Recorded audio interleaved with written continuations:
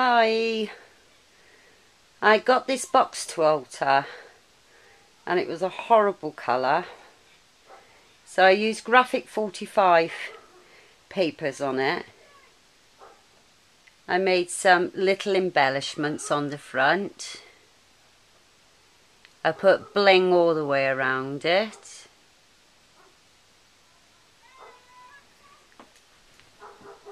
Then I use the other side of the graphic 45 paper to go on top.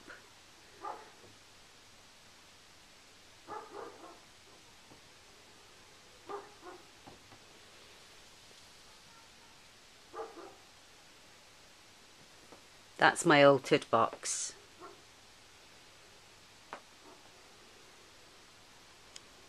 Thank you.